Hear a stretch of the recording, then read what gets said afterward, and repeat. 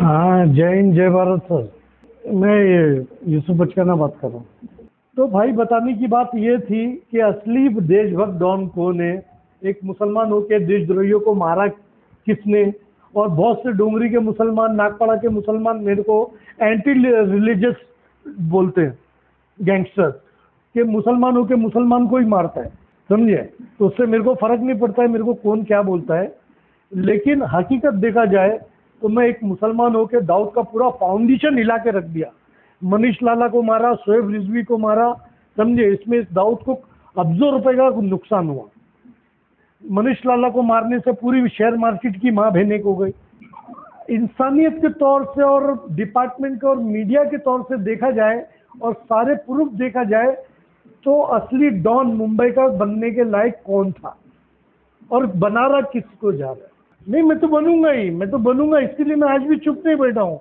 आज से मैं आपको आने वाले कुछ दिनों के लिए एक ऐसे शख्स के साथ मिलवाऊँगा, उसकी आवाज़ सुनाऊँगा, उसकी कुछ ख़ास तस्वीरें जो कहीं भी अवेलेबल नहीं हैं, जो उसने खुद मुझे किसी तरीके से भेजी हैं वो तस्वीरें भी आपको दिखाऊँगा और बहुत बड़े बड़े खुलासे। इतने बड़े खुलासे जिनमें से शायद कुछ मैंने भी नहीं सुने थे। जैसे जितेंद्र धाबोलकर के मर्डर की पूरी कहानी, कैसे उसको मुन्ना जिंगड़ा और सादे कालिया ने मारा और उसको मारने के लिए ये शख्स भी पहुँचा हुआ था। लेकिन इनके मारने के पहले वो काम दूसरे लोग करके चले गए। वो पूरी कहानी क्या थी? जिंद्रा दाबोलकर जो अरुण गवली ने एक पॉलिटिकल विंग बनाया था, अखिल भारतीय सेना, उसका फाउंडर प्रेसिडेंट था। और जिसकी वो पार्टी बनाना अरुण गवली की शिवसेना को गवारा नहीं था। इस ऑडियो में उस शख्स ने बहुत बड़े बड़े खलासे किए हैं, कहाँ तक सही हैं, कहाँ तक गलत हैं। ये जवाब तो वही लोग दे सकते हैं जिनके नाम उसने लिए हैं। लेकिन अनफॉर्चुनेटली वो लोग अब इस दुनिया में नहीं हैं, नहीं तो मैं उनसे कंफर्म कर लेता। लेकिन जैसे कहते हैं कि जो ऑडियंस होती है व्यूअरशिप होती है या श्रोते होते हैं लिसनर्स होते हैं, वो सबसे बड़े जज होते हैं। तो मैं इस पूरे कर्मकांड पे कोई अपनी राय नहीं दूँगा। आप अपना फैसला खुद कीजिए। इस शख्स ने ये भी खुलासा किया है कि शाहरुख खान के ऊपर हमले की, जो तैयारी की जा रही थी, उसकी क्या वजह थी? इसी तरह महेश भट्ट के ऊपर जो अटैक किए गए, उनका क्या कारण था? मुरानी के ऊपर जो अटैक हुआ, उसके पीछे क्या कारण था? उसका ये कहना कि ये सब लोग मुरानी के साथ मिले हुए थे, जो मुरानी की आमदन का एक हिस्सा आईएसआई को जाता था और हमारी एजेंसी उस बात के खिलाफ थी, इसलिए उसका बदला लेने के लिए ये काम इस शख्स के मुताबिक उन्होंने किया। उसी तरह सबसे बड़ा खुलासा जो उस आदमी ने किया है, वो ये है कि उनके चलते हुए उस समय पे कितने कांड हुए और जो 93 के ब्लास्ट के बाद जो छोटा राजन ने उस ब्लास्ट के एक्यूज को मारने का एक लंबी दौड़ लगाई थी। उसमें से 33 लोगों को मारने में इस शख्स का भी हाथ था। इस शख्स का कहना है कि उसके ऊपर टोटल इकतालीस मर्डर के केसेस चल रहे थे तो चल रहे हैं। उनमें से तैतीस मर्डर सिर्फ़ उन लोगों के हैं जो ब्लास्ट से जुड़े हुए थे, जैसे सलीम कुरला, माजिद खान, हनीफ कड़ावाला या इस किस्म के और लोग जो थे, उन सब की फरिस्त उन सब के नाम और उन सबको कैसे मारा गया, क्यों मारा गया, ये शख्स खुद बताता है। बहुत सारे खुलासे हैं और ये जो ये इसकी बातचीत रिकॉर्ड करने का जो सिलसिला था वो तकरीबन 2017 के करीब चला था। ये आदमी बेंगलौर से एक केस की तारीख को भुगतने के लिए मुंबई की क्राइम ब्रांच इसको बेंगलौर से ट्रांसिट वारंट पे लेके आई थी और मुंबई के सेशन कोर्ट में तिरवंजा नंबर या पचवंजा नंबर कोर्ट का था, वहाँ पे इसको पेश किया गया था एक पेशी के दौरान। तो वहाँ पे मेरी इसके साथ मुलाकात हुई। इसकी मर्ज़ी के साथ मैंने कुछ बड़े तरीके से एक हिडन माइक से कुछ रिकॉर्डिंग की और वो सिलसिला चलता रहा। उसकी कुछ जो क्लैरिफिकेशन और चाहिए थी उसके लिए मैं मैसेज इसके आदमी को भेजता था जो इसका कामकाज देखता है इसके वकील के साथ भी रबता रखता है। तो ओवर द ईयर पिछले चार एक सालों में जो मैंने आ, कुछ रिकॉर्डिंग की थी उनमें से कुछ मेरे से कहीं मिसप्लेस हो गई। तो इतने साल मेरे को मिली नहीं। अभी जैसे एक वीडियो में मैंने आपको बताया था कि मैं तीन दिन के लिए मुंबई गया था अपने दोस्त की डेथ पे अफसोस करने के लिए। तो वहाँ से मैं जब अपने घर में जब गया, अभी मुंबई वाले घर में, चंडीगढ़ से, पंजाब से तो मैंने वो पुरानी रिकॉर्डिंग ढूँढने की कोशिश की। उनमें से एक पेन ड्राइव मुझे मिल गई। उसमें से काफ़ी सारी रिकॉर्डिंग मुझे मिल गई, लेकिन बाकी अभी तक नहीं मिली हैं। तो उसके लिए मैं देखूँगा फिर कभी बॉम्बे जाऊँगा तो ढूंढूँगा या फिर इस शख्स से एक बार बात करने का आ, मौका बनाऊँगा किसी तरह। और वो जो सीरीज़ जो पूरी जो एक किताब पूरी उस पर लिखी जा सकती है शायद उसको कंप्लीट करने का मेरा एक जो काम है वो पूरा हो जाएगा। अब देखिए ये शख्स कौन है। उसका नाम है यूसुफ बचकाना। कुछ दिन पहले उसके ऊपर मैंने एक एपिसोड किया था। उसके बाद उसके जो पंटर लोग हैं, जो उसके खास लोग हैं, उनके मुझे फ़ोन आने शुरू हुए। आपकी उस कहानी में ये कमी रह गई वो ऐसा हो गया, वैसा हो गया। तो आप पूरी कहानी बताइए। तो मैंने कहा, भैया, जब तक उससे मेरा रबता नहीं होता, बात नहीं होती तो मैं कैसे बनाऊँ? तो उन लोगों ने कुछ जो मेरे सवाल थे, जो मैंने सवाल रिकॉर्ड करके भेजे थे उनको, उनके जवाब उन्होंने अपने तरीके से लेके मुझे भेजे लेकिन ये आवाज़ जो भी आज आप सुन रहे हो, ये आवाज़ किसी और की नहीं, ये उसी यूसुफ बचकाना की है, जिसकी मैं आपसे बात कर रहा हूँ। और वो अपनी ज़िंदगी के सारे किस्से खुद सुना रहा है। कल, परसों, दो दिन और आने वाले दिनों में उसकी बचपन से लेके उसकी खुद की बताई हुई कहानी जो मैंने 2017 में रिकॉर्ड की थी, वो कहानी भी आपको सुनाऊँगा, कैसे वो कहाँ पैदा हुआ कैसे बड़ा हुआ, कैसे क्राइम के फ़ील्ड में आया, पहला गुनाह कैसे किया, ये वगैरह वगैरह पूरी लंबी चौड़ी कहानी।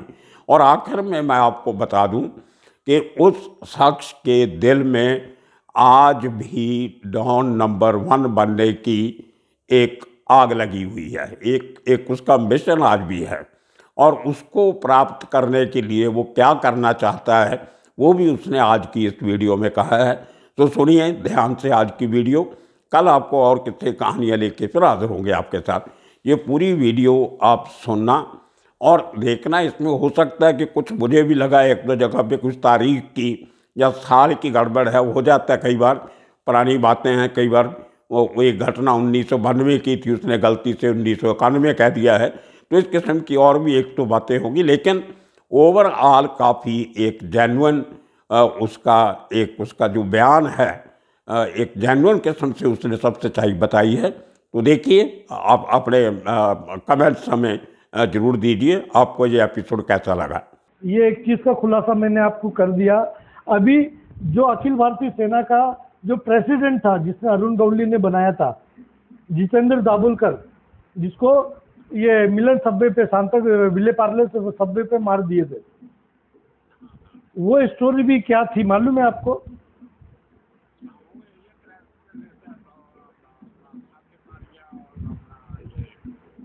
सादिक काली सुनो सुनो। खार का एड़ू, खार का एड़ू को तो आप पहचानते होंगे। नहीं नहीं, एडू एडू। एड़ा गोपाल नहीं, एड़ा गोपाल अलग, वो उस टाइम का एटी सेवन का, ये अभी की बात। दो, एक एक, दो एडू थे, एक खार का एडू था, एक मीरा रोड का एडू था। एक एडू सोना ज़्यादा पहनता था और एक एडू खार झोपड़पट्टी में रहता था। वो एडू अखिल भारतीय सेना की जब शाखाएँ खोला खोली जा रही थी, तभी मैं और रेणु जितेंद्र दाभोलकर के घर पे गए, बैठे, बात किए, शाखा करने की। मेरे को छोटा राजेंद्र ने भेजा था कि उसकी विकेट गिराने की है। तो सर्वे करने के लिए गया था मैं पूरी लोकेशन चेक करने के लिए गया था। समझे? अब काम उतरा किसके पास था? छोटा राजन के पास। और गया कौन था? मैं खुद गया था उसके घर में। आज भी मेरे को याद है उसकी ग्रीन कलर की आर्मदा कार थी महिंद्रा की। Jeep jeep jeep green colour की थी। यहाँ तक के बता रहा हूँ मैं आपको। समझे? इतने खुलासे बता रहा हूँ मैं आपको। अब मैं उधर, मैंने परवेश भाई और छोटा राजन ने बोला कि कल काम कर दो। तो परवेश भाई, जो परवेश सिद्दीकी जिसको दया नायक और प्रदीप शर्मा ने अंधेरी में इनकाउंटर कर दिए थे उठा के लाके उधर इनकाउंटर कर दिए थे मेरा गुरु, परवेश सिद्दीकी। तो समझे? तो उसने क्या बोला कि यूसुफ, आज एक बार और सर्वे कर ले तू। नवरात्रि का टाइम था, वो दिन भी बता रहा हूँ मैं। चेक कर लेना आप। समझे? अब मैं उधर खड़ा हूँ। वापस दूसरे दिन की बात है। उसके घर में गया, चाय पिया एक दिन पहले, जितेंद्र दाबुल करके चाय पिया, उसके बच्चे के साथ में खेला। वो टावल नहा रहा था टावल में बाहर आया। फिर हम लोग बात बात करके हम लोग उतर के आ गए। पूरा गाड़ी वाड़ी सिचुएशन लोकेशन सब देख लिए। समझे? दूसरे दिन परवेश भाई ने बोले कि आज एक दिन और देख ले, कल कर लेते हैं काम। तो जिस दिन हम लोग नेक्स्ट डे मैं और बाला सोनाव ने उसका लोकेशन कितने बजे आता है टाइमिंग देखने के लिए सुबह नौ बजे खड़े थे। मिलन सबवे पे, इधर, विले पार्ले में। ये आया, अपनी गाड़ी का फ्रेम बनवा रहा था। तो मेरी नज़र पड़ती है मुन्ना झिंगाड़ा के ऊपर। समझे? मुन्ना से कभी बात होगी तो बात कर लेना। बोलना कि यार वो दाबुल के केस में यूसुफ भी ठोकने के लिए खड़ा था और तुम लोग भी खड़े थे। वो क्या माजरा है? समझे? तो वो तो डी कंपनी हम लोग राजन कंपनी और सब बचपन के दोस्त लोग। सादिक को, सादिक कालिया को पहली बार चॉपर मैंने हाथ में दिया पहला उसकी ज़िंदगी की स्टेपिंग मेरे वजह से किया। समझे? सादिक कालिया ने। अब मैं उधर इसका बाला सोनावने का, उपास था नवरात्रि का नौ दिन का। वो चप्पल भी नहीं पहन सकता है लेदर की कोई चीज़ नहीं पहन सकता था। समझे? और वो दूध की चाय भी नहीं पी रहा था। तो हम लोग वड़ा पाव की गाड़ी पे खड़े हुए तो उसने बोला कि मैं काली चाय पीऊँगा। तो मैं वड़ा पाव खाया सुबह सुबह का टाइम और चाय पी रहा था मैं। तो इतने में एक मरून कलर की बाइक आती है। एक आदमी चश्मा उतारता है रैबन का, अपने जेब में रखता है और बैठे बैठे बाइक स्टैंड पर लेता है। समझे? और मेरे को देख के मुस्कुराता है। और मुस्कुरा के सीधा फायरिंग शुरू कर देता है वो, किसके ऊपर? जितेंद्र दाभोलकर के ऊपर। और वो आदमी था सादिक कालिया। जब सादिक कालिया जब फायरिंग कर रहा था, तभी मैं बोला वहाँ की आँख में मुन्ना जिंगाड़ा, इन लोग सब है बोला, बाला, भाग इधर से, नहीं तो ये बोला अपने सब पे आ जाएगी। समझे? उस टाइम पे सादिक कालिया को कोई नहीं पहचानता था कि ये जितने मर्डर हो रहे हैं, सादिक कालिया कर रहा है। तब शर्मा साहब को मैंने बताया कि सादिक कालिया और मुन्ना जिंगाला ने ये कांड किए तब जाके सादिक कालिया का बड़ा राजा के नाम के रूप में नाम बाहर आया। समझे? अच्छा अब इसका खुलासा करने का मतलब ये है, ये मर्डर का, कि आज आप लोग बताते हो, गवर्नमेंट बोलती है कि हम शिवसेना बताती है कि दाऊद के अगेंस्ट हुए। समझे? ठीक है, आपके भी दो तीन बार देखा मैंने इंटरव्यू लेकिन दाभोलकर को मारने की जो ये थी, जितेंद्र दाभोलकर को, जो अखिल भारतीय सेना का प्रेसिडेंट था, समझे? उसको मारने का मकसद सिर्फ़ बाला साहब ठाकरे का था। और बाला साहब ठाकरे ने अंडरवर्ल्ड में ये सुपारी घुमाए थे, दाऊद को मतलब दाऊद तो नहीं बात करता है, शकील को, छोटा राजन को और अश्विन नायक को। कि कोई भी इसको मारो और तीन करोड़ रुपया मेरे से लेके जाओ। ये मेरी आँखों देखी बात ये आ, मेरी आँखों सुनी कानों सुनी बातें हैं। अभी ये बात का भी खुलासा कर दिया। अब इन लोग बिताते अबू सालिम डॉन है अबू सालिम ये है माया भाई चलो माया भाई मा, जी। हकीकत में भाई हकीकत में देखा जाए तो आज की जनरेशन में छोटा राजन, दाऊद इब्राहिम, अरुण गौली, अमर नायक, अश्विन नायक के बाद में जब सेकंड जनरेशन में डॉन की गिनती में आती है तो डीके राव भी कोई डॉन नहीं है। डीके राव को भी बनाने वाला मैं, रवि पुजारी को भी बनाने वाला मैं, समझे? ठीक है? मुस्तफ़ा राय को भी आगे बढ़ाने वाला मैं, समझे ना? हाँ। जी जी। समझे ना? तो ये सब चीज़ों में इतने बड़े बड़े मर्डर करने के बाद में, उस टाइम पे नई जनरेशन दाऊद और छोटा राजन के बाद में कोई डॉन बनने का हक रखता था तो सिर्फ़ दो आदमी रखते सिर्फ़ दो आदमी। या तो एक बालू डोकरे डॉन बनने का हक रखता था, या तो फिर मैं डॉन बनने का हक रखता था। नंबर वन डॉन बनने का। समझे? लेकिन इतने बड़े उसमें टॉप टेन डॉन के अंदर, साला सब खजुए लोग का नाम आ रहा है, जिन लोगों ने किसी को लापा नहीं मारे। लेकिन बालू डोकरे का और मेरा नाम तो किधर है ही नहीं डॉन की गिनती में। क्यों?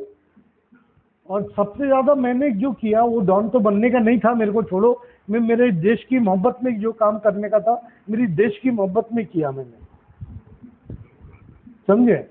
जैसे कि मैंने आपको बताया, जैसे मैंने आपको बताया कि मैं मर्डर करने जा रहा हूँ 93 ब्लास्ट वाले एक्यूज का, माजिद खान का, अकबर लाला का, और मैं इंतज़ार करता था नागपाड़ा पकिया का दो सौ रुपया लेके, टिकट भाड़ा लेके जाके मर्डर करके आता था मैं, और आके राइस प्लेट खाता था। पैसे की लालच तो थी नहीं मेरे को। जी, समझे आकर एक्चुअली देखा जाए तो वो मूवमेंट पे पैसे की जो बात आई ना तो छोटा राजन को खुद को नहीं मालूम था कि यूसुफ तक के पैसे पहुँच रहे। पैसे बीच में कौन खा जा रहा था? परवेज भाई और दया शेट्टी। समझे? मेरे तक के पैसे पहुँच ही नहीं रहे थे। नहीं नहीं नहीं नहीं नहीं ये परवेज शेट्टी ये, ये कालिया सतीश का बॉस रह चुका है। कालिया ये कालिया सतीश है काल, कालिया सतीश ये दया नायक का ये दया शेट्टी का छोकरा था खार वाला। समझे? ये अशोक जौने अशोक जौने जो रॉबर्ट अशोक जौने और सतीश कालिया, ये सब दया शेट्टी के छोकरे लोग थे और दया इन लोग का बॉस था। समझे? तो ये सब चीज़ आज उसको, इसको सतीश कालिया को भी डॉन दिखाया जाता है, दिखाया जाता है, जबकि उसको ट्रेन, सतीश कालिया को ट्रेन में नहीं किया। जब इसने दिनेश शेट्टी का मर्डर किया, साधु शेट्टी के अन्य का साधु अन्ना का, साधु शेट्टी का जो रिवेंज लिया गया, इसको दिनेश शेट्टी को मार के, पार्ला के अंदर राधा कृष्णा होटल वाले को। तब इन लोग के पास विपेन भी नहीं हुआ, करते थे विपेन मैंने भेजा। जेल के अंदर से, समझे? अतर रोड जेल के अंदर से, कि जा, ये मैं इधर से विपेन उठा और जाके ठोक उसको। तो डीके क्या शांतपति क्या? डीके चला गया ताबा। बोले इसको तू हैंडल कर लेना। और मैंने वो हैंडल मर्डर करके मैंने रिवेंज लिया मैंने। लेकिन वो मर्डर में मेरा नाम किधर भी नहीं है। क्यों? समझे? तो ये गोलमाल ऐसा। एक्चुअली क्या था? अभी अभी अब जी जी। 97 से 99 तक। जी। 96 से लेकर 96 में तो फायरिंग वगैरह हुई। 97 में मोहन कोटियन को हम लोग ने बैंगलोर में मारे। समझे? मैं खुद मारा। मोहन कोटियन को मैं, रोहित रवि बालू, बंटी, सब थे। पूरी टीम थी, नन्नू और मुन्ना, उसका भाई। सब लोग पूरी टीम थी हमारी। समझे? और पूरा हाँ बंटी पांडे। सब हम लोग की टीम थी और इन लोग मेरे ही घर में रुके थे इन लोग। रोहित, रवि, सब लोग मेरे और उनकी वाइफ संगीता भाभी और इसकी रवि की वाइफ और रवि के बच्चे तो मेरी गोद में बैठे हुए, खेले हुए। और मेरे बच्चे इन लोग की गोद में खेले हुए। समझे? मेरी बेटी, समझे? रवि की गोद में खेली है, रोहित की गोद में खेली है। और रवि के दो, दोनों बेटियाँ थी, वो मेरी गोद में खेली थी। मतलब हम लोग, बेशक हाँ। बचपन के दोस्त लोग थे हम लोग, जब कुछ भी नहीं थे, तब के साथी हम लोग। तो भाई, बताने की बात यह थी कि असली देशभक्त डॉन कौन है? एक मुसलमान होकर देशद्रोहियों को मारा किसने? और बहुत से डोंगरी के मुसलमान, नागपाड़ा के मुसलमान मेरे को एंटी रिलीजियस बोलते हैं गैंगस्टर के मुसलमान के मुसलमान को ही मारता है। समझे? तो उससे मेरे को फ़र्क नहीं पड़ता है, मेरे को कौन क्या बोलता है। लेकिन हकीकत देखा जाए तो मैं एक मुसलमान होकर दाऊद का पूरा फाउंडेशन हिला के रख दिया। मनीष लाला को मारा, शोएब रिजवी को मारा। समझे? इसमें इस दाऊद को अब्जो रुपए का नुकसान हुआ। मनीष लाला को मारने से पूरी शेयर मार्केट की माँ बहने को गई। समझे ना? तो इंसानियत के तौर से और डिपार्टमेंट के और मीडिया के तौर से देखा जाए और सारे प्रूफ देखा जाए तो असली डॉन मुंबई का बनने के लायक कौन था? और बना रहा किसको जा रहा है? नहीं, मैं तो बनूँगा ही, मैं तो बनूँगा इसीलिए मैं आज भी चुप नहीं बैठा हूँ। अगर बकरा ईद तक के मैं नहीं छूटा, समझे? तो मैं अभी आपको फ्यूचर में अभी आपको बता रहा हूँ, समझे? कि फिर मुंबई गर्म करूँगा, बैंगलोर गर्म करूँगा, मैसूर गरम करूँगा और हुबली धारवाड़ गर्म करूँगा। इस दौरान बकरा ईद बकरा ईद से लेकर, समझे? अक्टूबर तक के दस मर्डर होंगे। मैं अभी से भविष्यवाणी आपको लिख दे रहा हूँ। अगर अगर नहीं नहीं नहीं नहीं, वो संभाल के रखेंगे। नहीं नहीं होती है। मैं ये आपको बता रहा हूँ मैं। क्यों मालूम है, जब बात आती है ना, बात आती है इमेज की तो चाहे वो चाहे वो मीडिया का रिपोर्टर रहे, चाहे वो डिपार्टमेंट का ऑफिसर रहे, जब बात इमेज की और सीनियरिटी की आती है तो आदमी के जज्बात में, आदमी अपने जज्बात में आके बोलता है, साला ये अहदा तो मेरा था, ये अहदा दूसरे को क्यों मिला? मीडिया दूसरे को क्यों हीरो बना रही है? जबकि मेन हीरो तो मैं हूँ। तात्या पटेल जितने भी बड़े विकेटें गिरी हैं उस टाइम पे, हर एक खाली ईस्ट वेस्ट तकजुद्दीन को छोड़ के, समझे? और डीएम घोष को छोड़ के सारे बड़ी विकेटों में मैं मैं हूँ।